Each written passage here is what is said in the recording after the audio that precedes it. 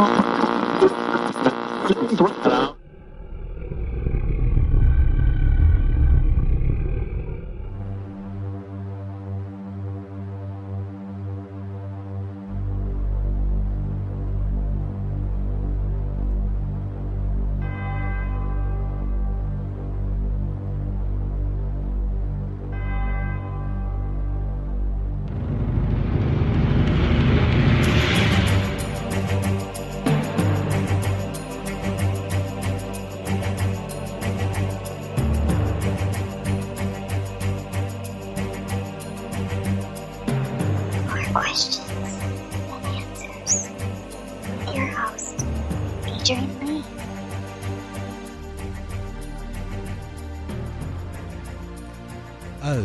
Yes, indeed, there are more questions than answers. Like if there was an award for laziness, I would actually get someone else to pick it up for me. I was told at school I was lazy, but I was bored most of the time. I don't think they stretched me cerebrally in a 1980s East London comprehensive school. Did you like school, Michelle? I did.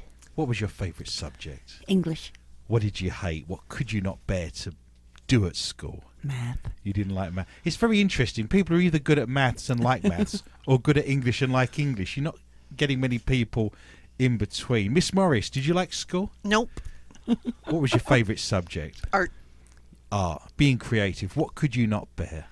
Everything else. I used to. I must admit, I dislike maths immensely as well. If they could have taught that more boringly, I doubt they would have found it to be perfectly honest. My name is Adrian Lee, and I am your host. Welcome to the show. More questions than answers. The only paranormal quiz show anywhere in the world. I actually hated studying. I hate studying, but I really like learning. Yep. Learning is fabulous. Studying, not so much. You see, there's a very subtle difference, and this show's all about learning. You will leave this show, I guarantee you, with more than you arrived with. The laziest person in the world has to be the guy that invented the Japanese flag. Can you imagine the brief? We want a nice flag. It's got to represent the country of Japan. And he sit there with his coffee, and he lifts his coffee up, and there's a circle on the paper, and he puts that in. Ask for the money. Wow. I caught, unfortunately, amoebic dysentery when I was in living in India many, many years ago. And every time I look at the Japanese flag, I think of what my bottom used to look like. 100% true. Each week, my guests and I will search the world's newspapers, websites, and TV shows just for you to bring you the very best in paranormal talk radio entertainment and enlightenment. We will then test each other's knowledge of the week's events of the mysterious. Never gets boring, does it? Nope. Always love that. Brings me lots of happiness and joy. Strange, supernatural, unusual, bizarre, and just plain weird. If you have just tuned in especially to hear the show, then I admire your taste. If you have just tuned in by accident, then I admire your luck. I am huddled under my quilt with a large flashlight and a nice cup of tea with tonight's guests, somewhere in the barren wildernesses of the Midwest Plains, with the sound of my elderly mother snoring distantly from the room next door. Each week, we press our ear against the bedroom wall. Whatever my mother listens to picks and pulls on her unconscious mind, and that's the very tune she snores. Let's have a listen tonight.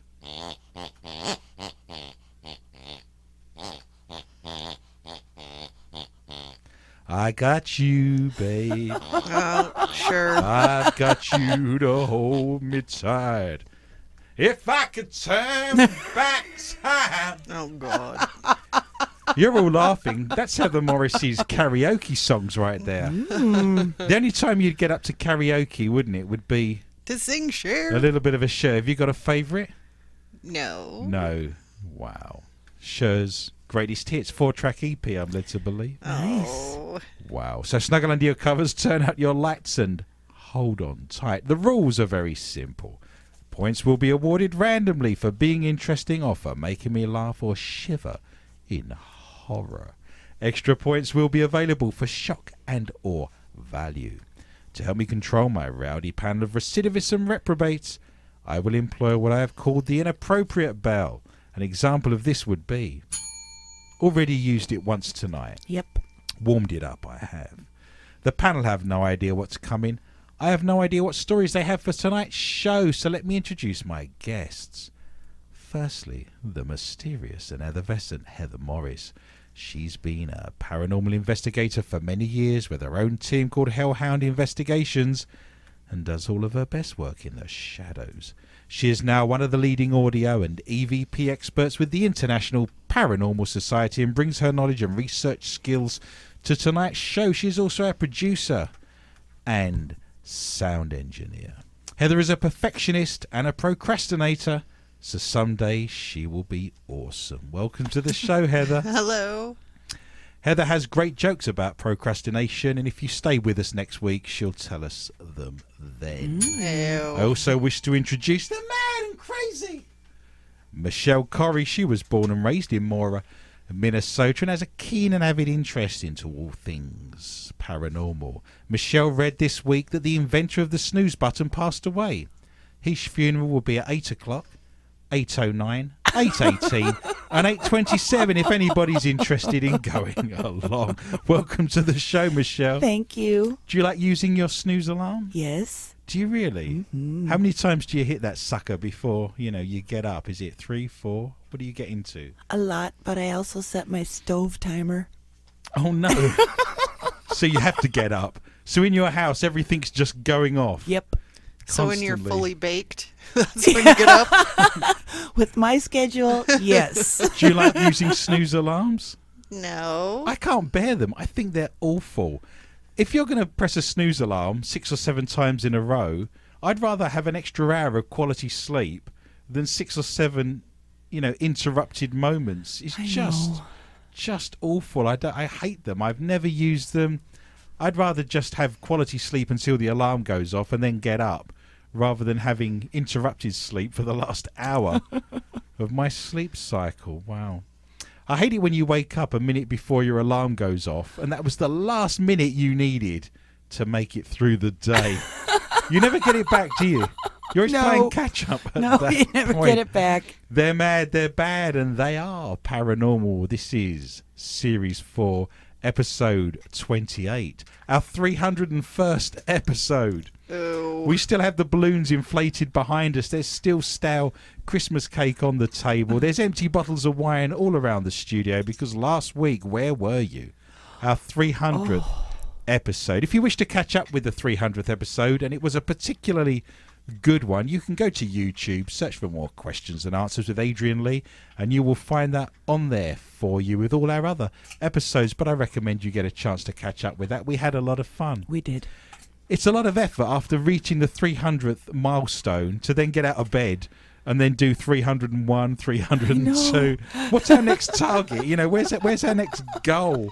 That's the problem we've got. I will mention before we jump into the quiz proper that we have a watch party currently taking place live at this very moment. If you go to Facebook, if you search for more questions and answers with Adrian Lee, you will find a quiz currently taking place live on there. People answering the questions I'm about to deliver, people having fun, exchanging jokes, probably exchanging telephone numbers as well, I wouldn't add. I hope so. Yeah, I think that's all happening on, on there.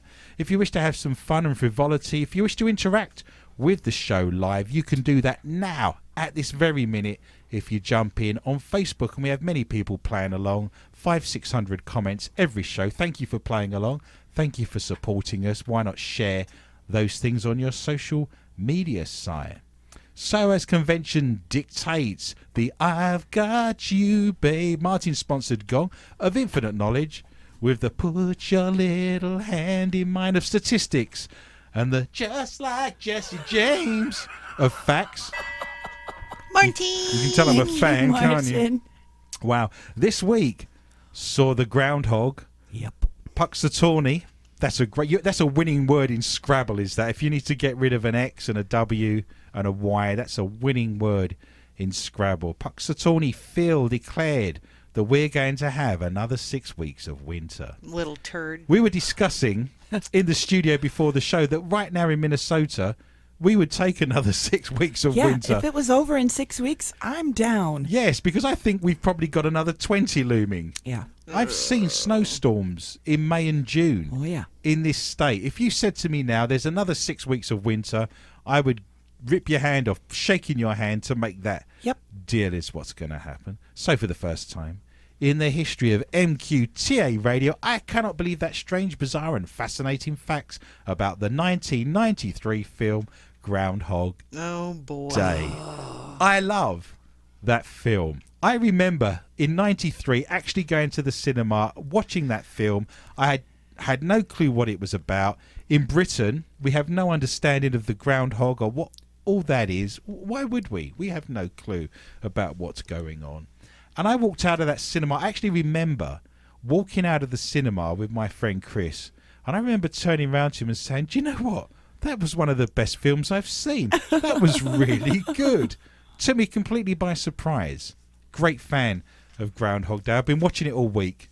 As you would expect, over and over. I have. They're running it back to back on one of the channels. Feeling confident? Fan of Groundhog Day? No. I mean, yes. No. You've no idea, have you? What? You're like Bill Murray. Yes. Harold Ramis, of course, was the director. Yes. They never spoke to each other after that until Harold Ramis was on his deathbed 20 years later and they buried the hatchet. But they did have a lot of fallings out on that film and they never spoke to each other Oh. after that moment, which is very disappointing. What did Bill Murray do to the extras and the residents of the town that were looking on in the town square during the filming of Groundhog Day? That's all you've got to answer to get your slippery points this evening. He mooned him. So the whole town has turned out because obviously it wasn't a set; it's an actual place. It's uh, Woodstock in Illinois. So the whole town's there. They're watching the filming, and I think some of the filming was done in June and May, so they had to wear coats even though it was roasting hot, and they made it look snowy. So you're suggesting in front of the whole town, Bill Murray pulled his pants down and presented a Mooney to the entire town. Do you think that would go down well? Yes. Wow. Look at that man smoking a cigar. Oh, Stop. oh my. So you're suggesting Bill Murray pulled a Mooney to the entire town and all the extras. Yep. What do you think, Michelle? What would Bill Murray have done?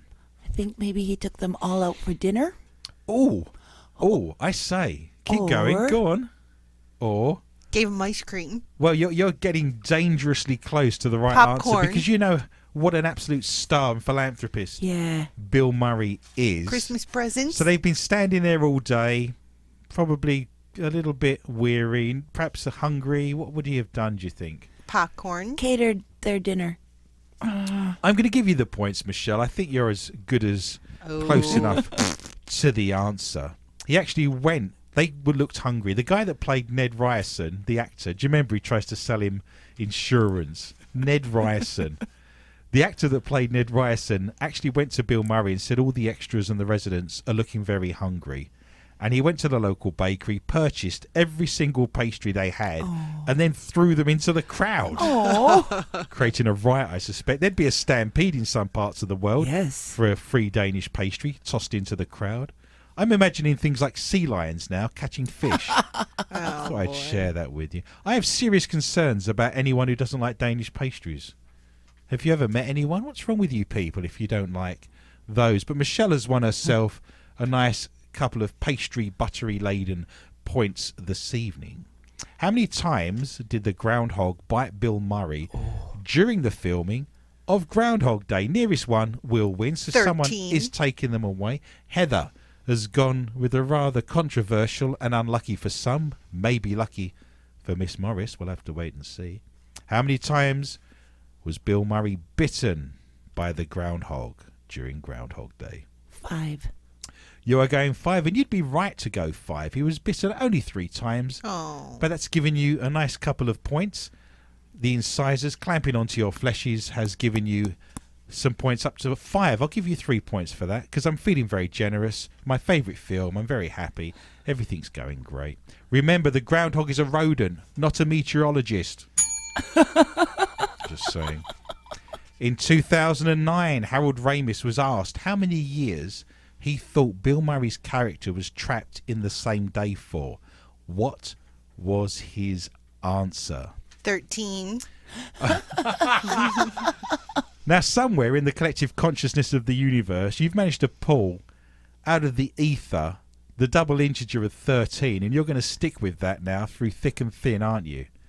Why 13? Because I said it before. And it was oh. wrong, so you decided to go with it again? Because it'll be right. What's the saying that if you do the same thing over and over again and expect a, different, outcome, that you're a genius. So you are suggesting that when Harold Ramis was asked how many years he thought Bill Murray's character was trapped in the same day, you are presenting to me 13. Yes. He had 13 years there. Yep. Michelle, you have many numbers to choose from, from zero to infinity. 30.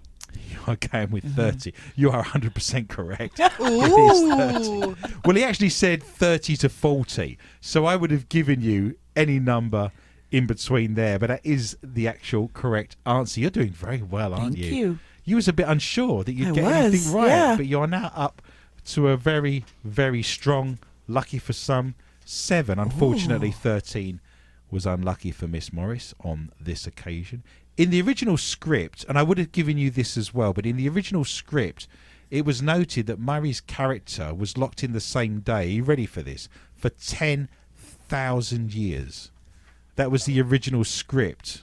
10,000 years. And he marked the time going by by going into the library every single day and just reading one page at a oh. time until he'd read every single library book in that library. And that was how he managed to keep track of how much time was passing. God, can you imagine? 10,000 years. That's how he knew so much and all the things that were taking place. At the end, he knows everyone's name. He knows all their personal business, doesn't he? Everything that's going on. Murray refused to do the implied sex scene with Andie MacDowell on February the 3rd, which was the evening he finally breaks free of February the 2nd. If you remember, they're in bed at the end. But Murray refused to do the implied sex scene with Andie MacDowell on February the 3rd unless he what? Yeah. Unless he what? This was something he had to uh-huh. put in place, otherwise he wouldn't have done it. And they actually had a vote on this. They voted on this. The crew, all of the people involved, Got to shave got to shave what? his beard. Uh, His beard. I didn't realise he had a beard. You mean his Well, five o'clock shadow? His yes. stubble.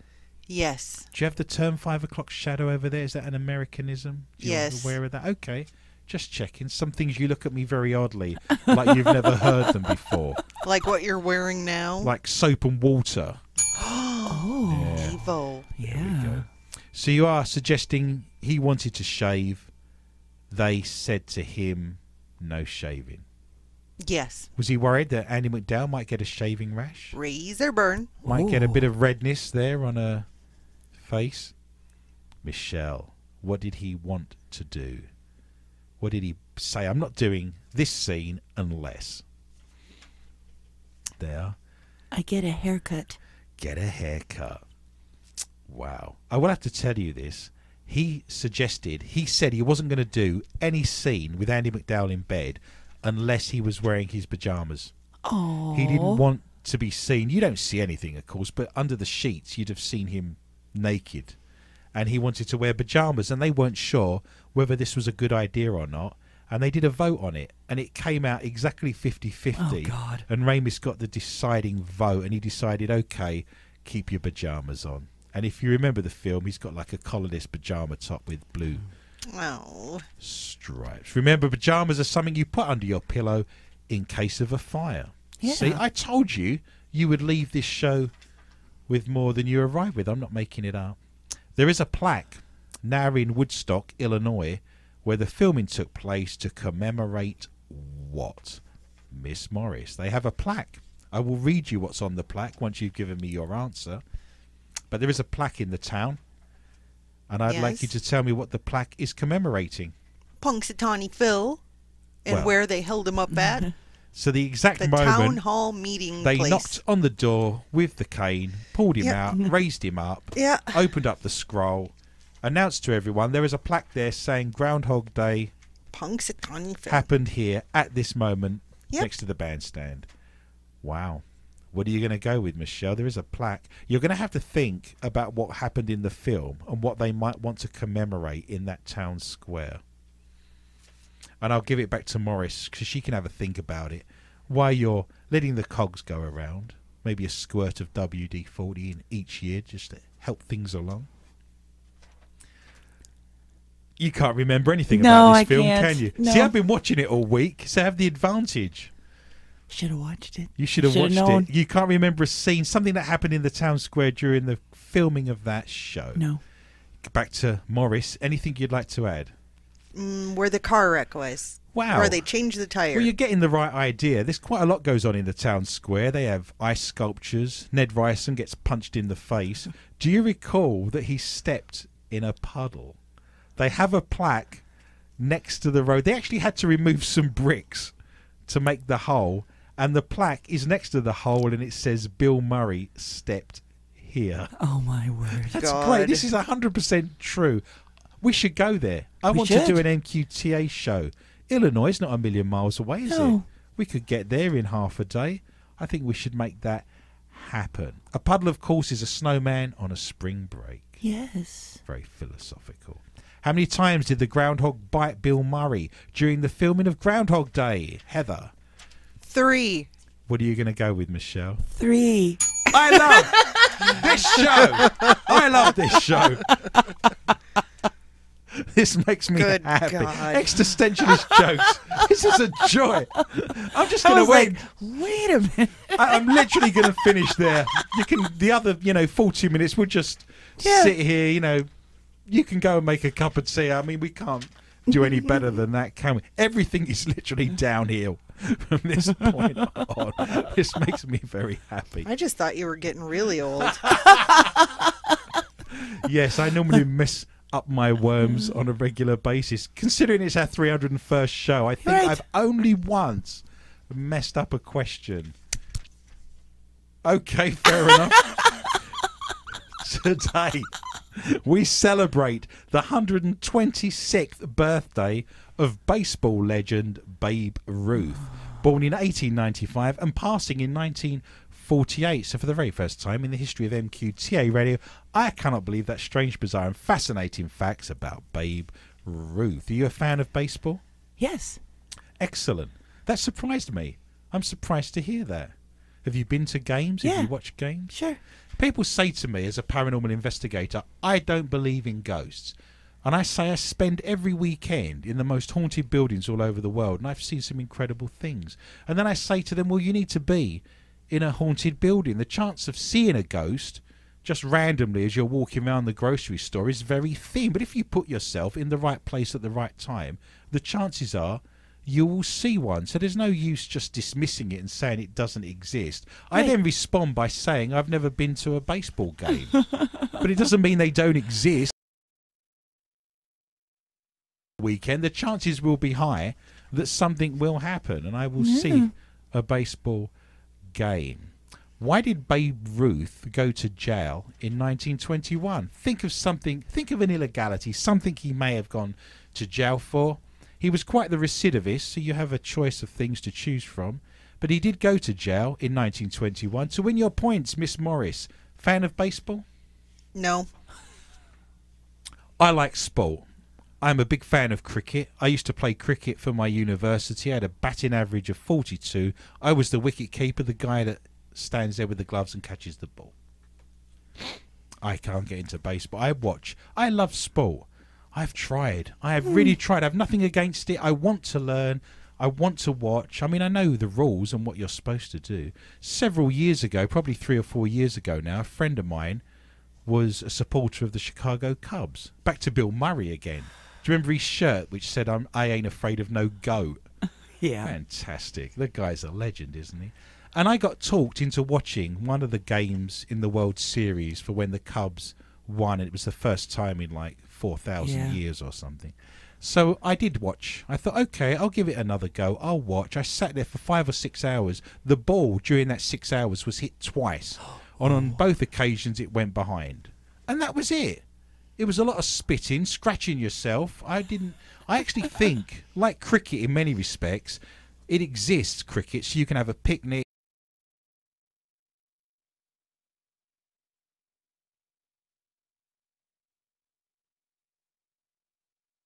It's about eating peanuts, hot dogs, drinking beer. I mean, there's is anyone paying attention to that stuff? What? Exactly.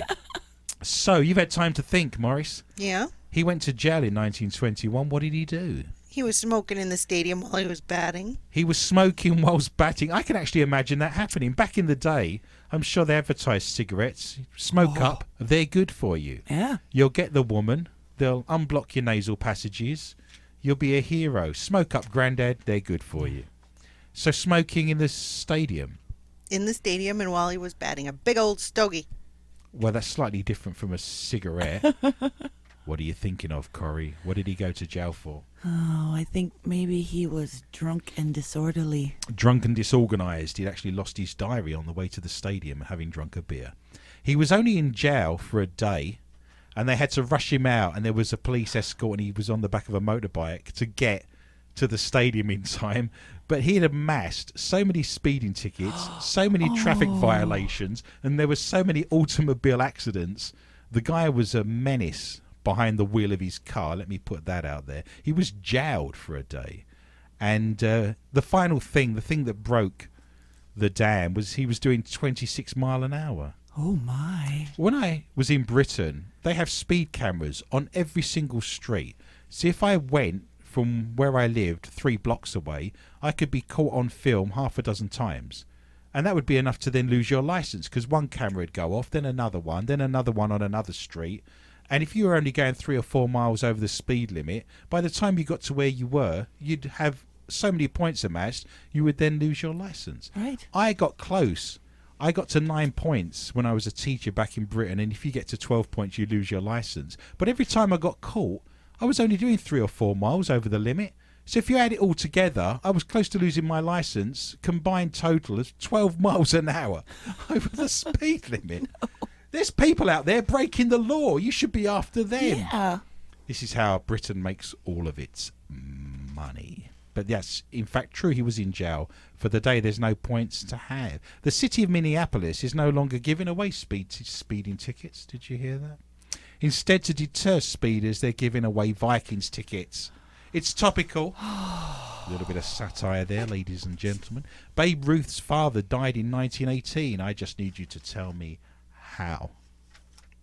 How did Babe Ruth's father die in 1918? Choking on a hot dog. He choked on a hot dog. The lesson there is to chew your food properly, ladies and gentlemen. Drinking the hot dog water. What are you thinking, Michelle? Car accident. Babe Ruth hit him in a car. Yeah. Hit by a baseball. Yeah. I will tell you that Baseball there's some really strange things happen to Babe Ruth in his life, and I'll get to those in a moment. Let me tell you, you're both wrong. So let's just go through a list of different ways people can die, and whoever gets there first wins their points. Go. Washing dishes, mowing the lawn. He died washing dishes. How do you die washing dishes? Fell off a building site. Keep Slipped going. on the ice. He Mm, fell in a Kicked hole. by a horse. Sinkhole. He did what with a horse? Kicked by a horse. He died in a bar fight. Oh. He hit his head on the sidewalk, back of his head, fractured his skull, and died in a bar fight. What's Was it very- icy? I don't. Do I win? Was it icy? It's a bit of. Was there a horse? Was it winter? Yeah. he had a bar fight with a horse. you looking at me? So, what's with the long face? That's terrible. A horse walks into a bar and the bartender confuses his idioms and his jokes together, offers the horse a glass of water, but he can't make him drink it. Oh This my. is just fantastic. Yes, his father died, unfortunately, in a bar fight. His Oh. wife, he was divorced from his wife, Babe Ruth, and his wife died in a house fire, and they thought that she was somebody else. And they only realised she had died when some friends many years later saw her photograph in a newspaper. There was some really odd. I'm not blaming Babe Ruth for any of this, but there was some strange and odd things happened in that man's life and around that man's life. Very, very odd, very strange. Cannot give the points away. Michelle's on seven, and we are yet to score. I love that joke. Do you remember Stan and Ollie? Yes. Laurel and Hardy. One of the f- most fantastic scenes. I like the show. Do you remember they did an episode called The Babysitters where they played themselves as children and they had yes. to babysit them? Yes. There's a fantastic moment where Stan and Ollie are playing pool downstairs, and Stan's eating marshmallows, and he puts a marshmallow on the pool table, and and uh, he picks Oliver picks it up, and he's chalking his cue, and it's sticky. It's all sticky, and then Stan's chewing away. You know, he's he's eating the chalk. But the reason I bring this up is that Stan says to him, "You can lead a horse to water, but you can't." I have no clue. But you can't what? but you can't. You can lead a horse to water, but a pencil must be led. Oh. This is true. That was then, but this is now as we enter our favourite part of the show. It's the mailbag. Yay! Mailbag. Love the mailbag. Mailbag. We love the mailbag. If you wish to send us letters, if you wish to send us notes and tell us the things you like about the show or the things you don't like, anything at all, if you wish to ask us questions, we will answer them on air. You can go to my Facebook site, More Questions Than Answers, with Adrian Lee. We had so many comments last week on our war about our 300th episode. We'd spend an hour going through all those. So if you sent us a congratulation message, if you said well done, we really appreciate that. Thank you for spending the time doing that for us. We did read every single one of them. I think I put a thumbs up to to say that we'd seen those, but thank you for that. Don has written. He wants to know. After 300 shows, why are Heather and Michelle still referred to as guests? Because we're not paid. Do you want to answer that? Because I could get fired at any moment. Because I don't get any money. I think originally, when we first started this show, we did have guests on. We've had Bob Gilbert, the author from Washington, Antonia Felix, the uh, New York best-selling author who lives in Farmington in Minnesota. We've had lots and lots of guests. Brian Sterling Vete, of course, the uh, film actor from Star Trek and various other places, BBC journalist. We did have many guests on. But unfortunately, with COVID and everything we've got, and we're in the middle of nowhere here, by Yeah. the way, let's put that out there. We're literally in the barren wildernesses of the Midwest Plains. We couldn't get guests here, even if we What are you trying to say? So, you're my guests. you live locally. You're, you know, this is you're in the same town, which is beneficial, right? You can walk home. But that's your answer, sir. It's uh, we did have more guests in the past, and they're not being paid, and it's my show, so you're whatever I tell you are. You're my guest, and I appreciate you being here. Thank you. Thank you for being here and answering the questions incredibly well. Samantha has posted, I hate listening to the show because for the next few days I think in a British accent. so obviously that's raising your IQ, I would suggest, Ooh. thinking in a British accent. Not constantly, she puts, not all of the time. That would be ridiculous, wouldn't it?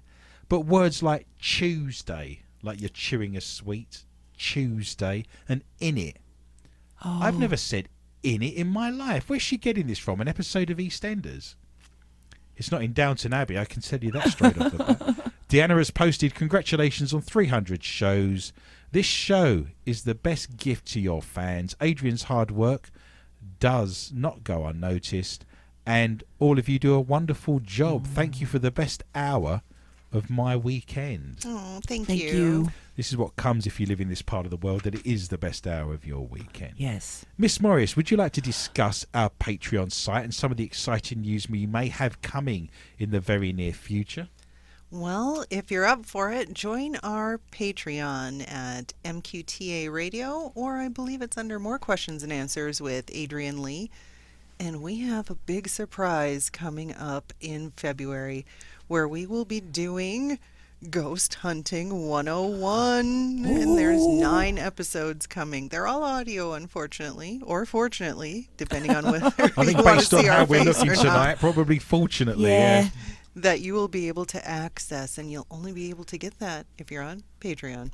Yes, we have many fantastic things coming for all of our Patreon supporters. We appreciate every single one of you. So thank you for going on to there for us. This show runs our 301st episode basically on voluntary donations. So thank you for that. If you go there, there's lots of other wonderful things as well. It's a single dollar for one dollar an episode. Yeah. You can't even buy a Snickers bar for that. We're currently on MCN 6, 9 pm Central Time every Saturday night. If you go to mcn6.org, you can stream that on every single device anywhere in the world. Your laptop, your television, your iPad, your cell phone. You can find us on there. You can find us on Roku on MCN6 if you search for that. We have many platforms. All our shows are archived going back in the last seven or eight years. You can find the audio for this show if you wish to listen in the car or perhaps walking the dog or in the gym. If you go to SoundCloud, search for MQTA Radio, but we're on iTunes, Stitcher, TuneIn, Spotify, so many more. I can't read them all out. If you can't find us, you've only got yourself to blame. And if you go to YouTube, you can actually find all of the television shows we've done on MCN6 in the last four to five months. You can watch us as well. And we're on digistreamglobal.com. Everything's on there for you. I also want to mention that I've done some fantastic work with two great ghost hunters from Texas. If you go to YouTube, search for the paranormal files. I actually did two or three episodes in haunted buildings in Minnesota, and I recommend if you get a chance to see those. Some crazy things happened. Miss Morris, what do we do every Tuesday at 8 p.m. Central Time? Drink a lot of alcohol. Yeah. You do. I just have a cup of tea. That's all I have. We all get together, we turn our TVs over to the History Channel, and typically we watch The Curse of Oak Island with a nice big drink in our hand. It has been a get curse over the last seven years, I will say. Boring. The show's not the best show in the world, but we have a watch party and lots of people join in, and it's so funny. It is. I laugh out loud watching all the jokes, all the gifts. It's huge entertainment. If you've got nothing to do, on a Tuesday at 8 pm Central Time, find us on Facebook. There's a watch party. We watch The Curse of Oak Island and we are cracking jokes and having so much fun. It's just a joy to be alive. What possible better entertainment could you have during On a COVID Tuesday. on a Tuesday during a COVID pandemic in the winter? Yeah. No one's having more fun than us. No. You can find us on there, of course. We now enter the first round proper with ghosts and hauntings. And remember, we don't do orbs. We have signs up that say such wonders. A haunting TikTok video captured the moment a ghostly figure walked outside a house where a man took his own life. As a man lifted a heavy sack from the back of a pickup truck, a hooded figure appeared from behind the vehicle. So every teenage boy there's ever been, then I would suggest. Hmm. Roberto Morales from San Diego, California, shared the snap on the video app with the caption, My brother committed suicide in this house on 11 11 2020. Look in the front of the silver SUV. We believe this is his spirit roaming the house. He captioned the video with hashtag sad, scary, ghost and cry, and added a crying emoji at the end. The hooded figure, only visible for a split second at the end of the clip, abruptly appears from behind the front of a car on the far right. In another clip, Roberto shared what looks like a dark shadow through the windscreen on his sister's phone. There are also screenshots of what looks like a face in the back of the window of his SUV. Morales' original video has been viewed nearly 9 million times and has received more than 45,000 comments from terrified TikTok users. I've been on TikTok and that terrifies me. Yes. Dude, abandon that house immediately. You shouldn't be there. Spray holy water all over the place and have a blessed day. Another TikTok user has posted, I claim no negative energy. And another wrote, Lord, protect me from this post. Inside the house, Roberto posted another video of a face like shape in the mirror of his brother's bedroom. He took the video three days after his beloved brother passed away. One viewer offered Roberto some advice. Dude, abandon that house immediately. You should not be there. You should not be there, or I don't care. Go to our Facebook site, more questions than answers with Adrian Lee, and you can see the videos and the photographs for yourself. I'm surprised I didn't get interrupted during the course of mm-hmm. that story. Anything you'd like to add? Other than it's bunk. If you are playing the Bell Bunk and Snort drinking game, you are now welcome to take a shot wherever you are in the world. Pros salute. Cheers. May I also say Yes. that if that's supposed to be his brother that committed suicide that's haunting them, why would it be scary? Yeah. That is also true. Just a question. Yes, his brother wouldn't want to hurt him, would he? No. It's the fear of the unknown. That's Ugh. exactly what that is. I saw the ghost of my great grandmother wandering around my bedroom when I was a small boy, and I went to my parents the following morning and said, There's an old woman walking around my bedroom. And my parents are both scientists. My mother worked as a biochemist. My dad worked in a physics lab in Queen Mary and Westfield College. And they said exactly what I would have expected two scientists to say, which was if that's your great grandmother, she wouldn't want to hurt you. Go back to bed, Adrian. Okay. Thank you. Miss Morris, what have you got for me tonight in the round of ghosts and hauntings? A ship carrying 20 passengers has disappeared without a trace despite an extensive search and rescue effort. There are a few mysteries as endearing and as well known as the Bermuda Triangle, an expanse of ocean in the North Atlantic that spans the area between Florida, Bermuda, and Puerto Rico. so we have another ship that has gone missing in the hmm. Bermuda Triangle. Bermuda Triangle. Try and see from my angle. what? Second rhymes for Barry Manilow. He's tried oh. his best, poor man. Yeah. Over the years. By the way, I'm going to jump in there. oh boy. That's a really interesting kind of second rhyme, how he's tried to just crowbar that in. I will tell you the best line from any song where they've tried to crowbar in a rhyme. Have you heard of the group Madness? Yeah. Our house in the middle of our street. Welcome to the house of fun. It must be love, love, love. On their greatest hits, one of their albums, they have a song. I like driving in my car. Ding, ding, ding. Do you know that one? Mm-hmm. This is the line. I like driving in my car. I know it's not a Jaguar. there must be other things that rhyme with car, surely, other than Jaguar. I'm sorry, that just sprang to mind. I, How's you know. your ADD? Yeah. It's going great. Thank you. I'll have some more jubes. I'll be mm. back after the break. People did comment last week that my face went bright red like I got sunburnt after I did. ate the tubes. Instant anaphylactic shock on television. Oh, good. Lucky we didn't need an EpiPen. Yeah. Because we don't have one. Morris, I don't have one. Lucky we, di- lucky I didn't have. That would have just use a normal pen.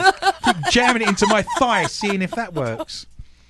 Over, There's times I've sat through lectures in art history classes where I've had to clutch a rusty nail into the palm of my hand to stay oh. conscious. That's a similar idea. It's just taking your mind off of it, isn't it? Yeah. Miss Morris, what have you got for me? are you sure? Yeah, you keep going, girl. Yeah. All right. Over the years, the region has become synonymous with an unexplained disappearance of ships and airplanes, often with no trace of them or their crews ever being found. Now, the same thing has happened again, and everyone on board is still missing. The vessel, which left Bimini in the Bahamas on December 28th on a trip to Lake Worth, Florida, was reported missing after it failed to turn up to its destination, prompting a major Coast Guard search.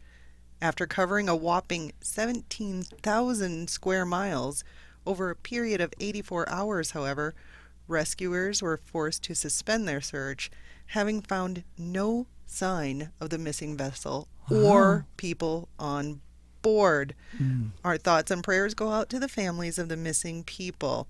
I encourage anyone with information about the people aboard to contact us as soon as possible. As things stand, though, the whereabouts of the boat and its crew continue to remain a total mystery. Wow.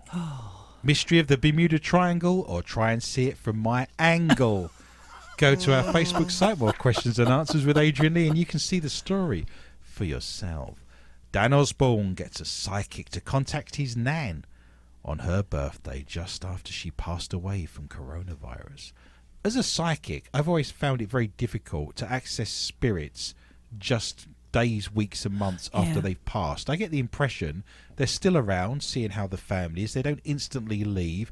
Many spirits tell me that they've been to their own funeral and they've seen the people giving eulogies about them and what people are wearing and what they're talking about, which would suggest they stay around for at least a couple of weeks until the person's buried, right? Yeah. just a couple of days after seems very odd for me. If people contact me and say, Adrian, can you, you know, chat with my deceased relatives? And I say, well, how long have they been deceased for?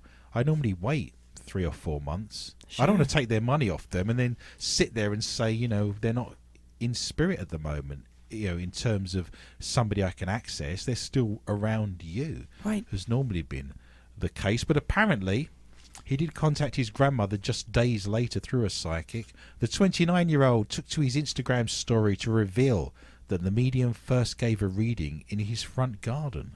Father of two, Dan explained that he'd delivered a prize, a bundle of Apple products, to spirit medium Mike Ho after he won a recent competition. I think that's a little odd, isn't it? Psychic wins competition. Yeah.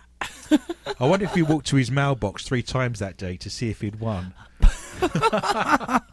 in between training in the gym, the former The Only Way is Essex star revealed the crazy coincidence and saw him contact his dead grandmother. As we know, there is no such thing as a coincidence. Strangely, it all occurred on what would have been his nan's birthday and just days after she passed from COVID 19 last week. How mad is this? Like the craziest coincidence? Or is it not a coincidence? Dan told his fans, taking to Instagram. On our draw last night, Mike won our Apple bundle and we delivered it to him today. And Mike happens to be a spirit medium out of everyone in the country, the TV personality continued. My nan passed away on Friday and it was her birthday today. And Mike picks up on my nan's spirit in his front garden and gave us a reading there and then on the spot as they're handing him his prize. Who knew? These things that would only have been known to us, he was telling me. It was mind blowing, like unbelievable.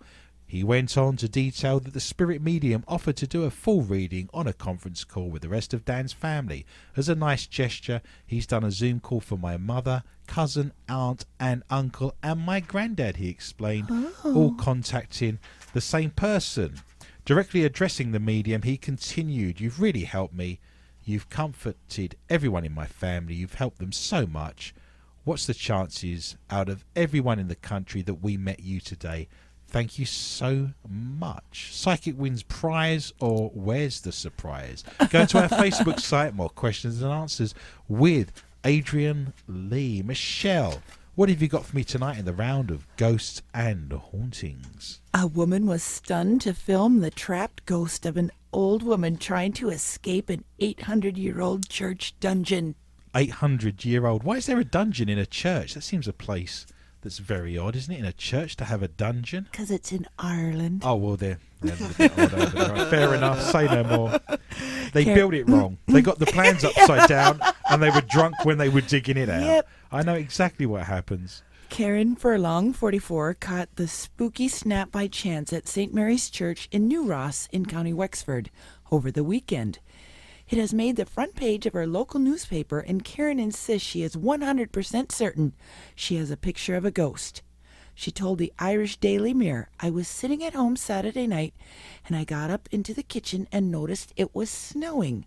I ran out to the front and brought my phone with me because the church is just across the road from my house.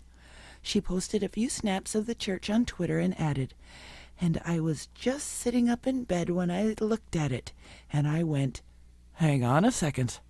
That's creepy. Yeah. Was that your best Irish accent? No. Why aren't we hearing that? I want you to say that again. You've lived there. You've got more chance than I've got. I zoomed in and said, Oh my god, I think that's a ghost. Oh, Bagara. Aye, it's a spirit. And I just took off from there. Have you been reading the same book on how to do accents as Miss Morris? Yes. She's got an entire range of accents from A through to B. It's remarkable. Now, to me, I originally thought that it was a monk, but the more I look at it, I can see the despair in the figure's face, and I thought that it might be a woman.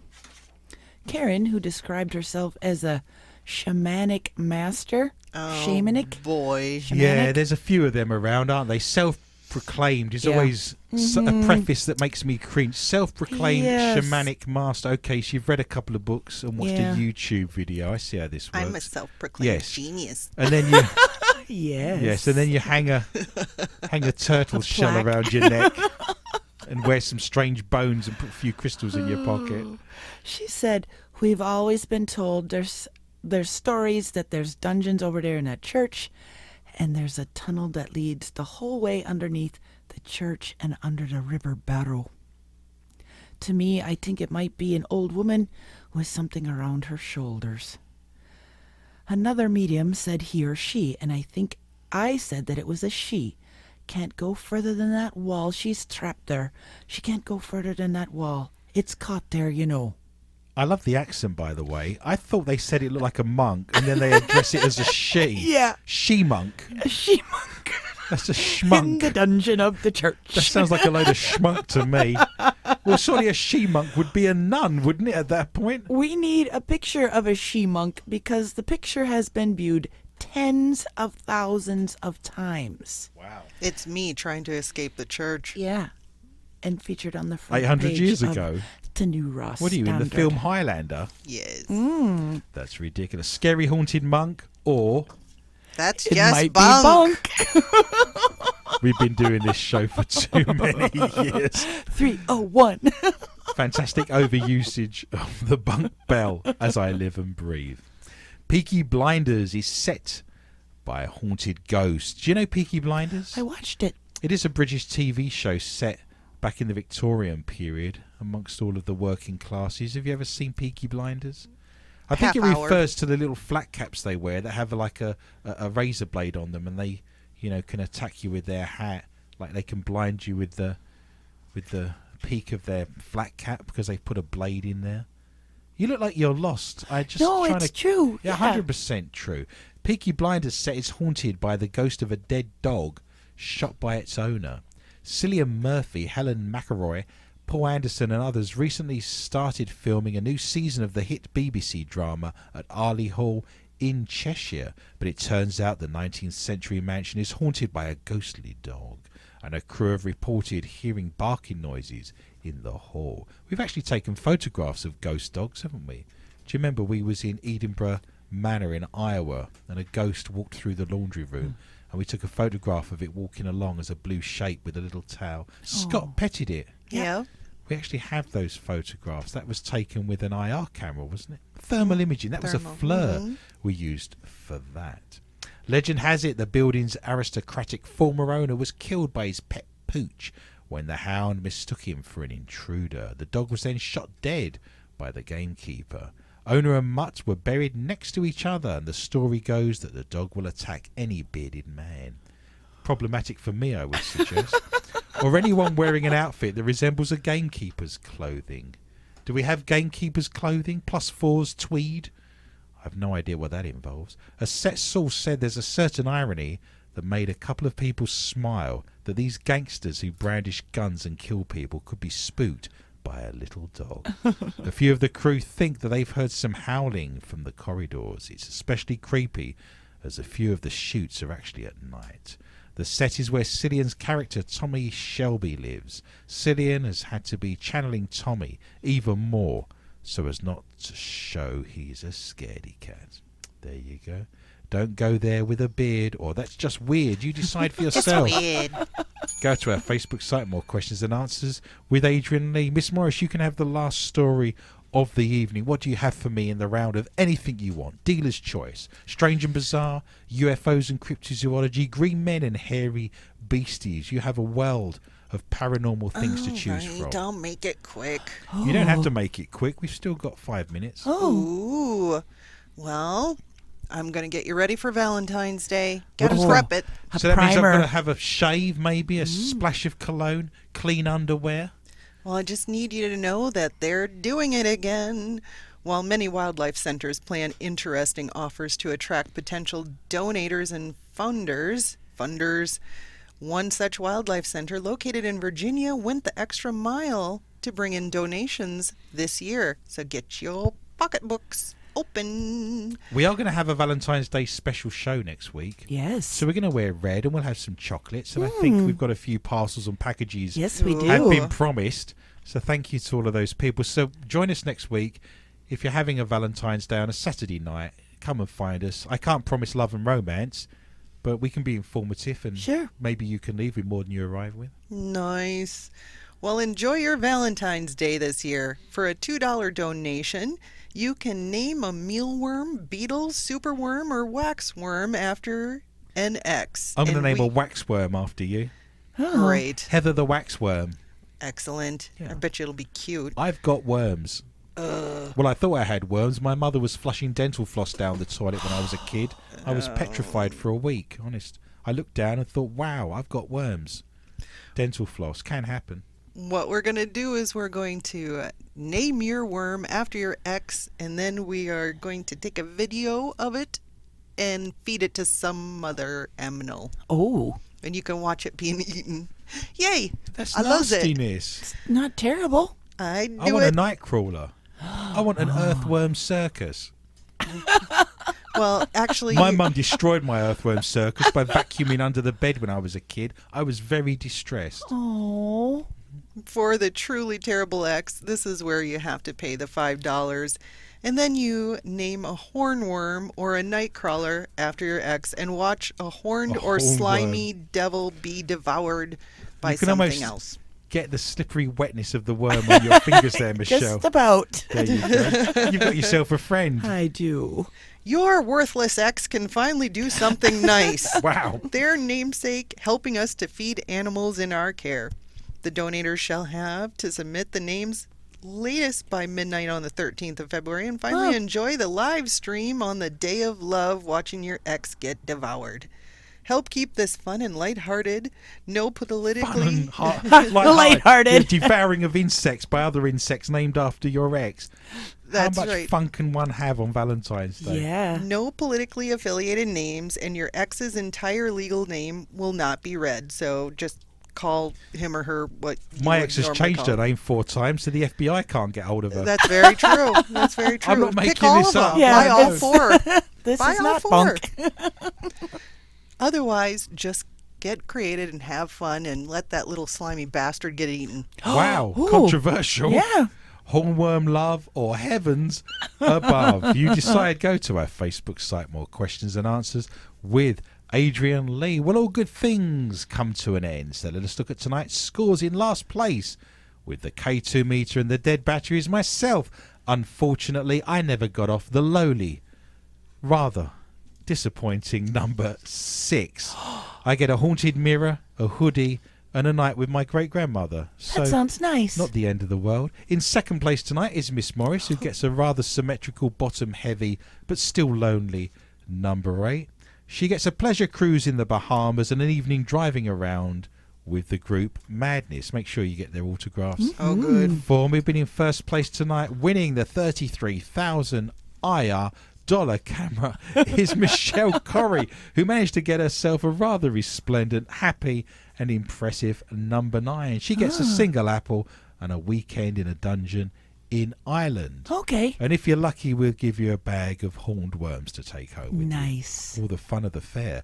Do not fear, listener. Remember, we are back with a whole new bunch of stories next week at the same time, and I would love for you to join me for a fun and informative journey through the world of the paranormal, strange, intriguing, bizarre, and weird. Please tell your friends and family about the show and feel free to contact me anytime via our Facebook site, More Questions Than Answers with Adrian Lee. And there's many more stories we never got a chance to read out, and they're all on there for you as well. You can also join my Twitter account at Adrian underscore Lee underscore tips. I very rarely mention that, but I have 85,000 followers on there at the moment. You've been watching More Questions Than Answers, the only paranormal news quiz show anywhere in the world with Adrian Lee. We are the very best in paranormal news radio entertainment, the very light before the darkness. My gratitude and greatest thanks are extended to Lorna Hunter, Heather Morris, Jeton Drainer, and Michelle Corrie, and all at the International Paranormal Society in paranormal.net, and the show sponsors, including the Lakes Area Paranormal Interest Group. It just remains for me to say thank you for listening, and remember, be interested and interesting. Good night. Good night.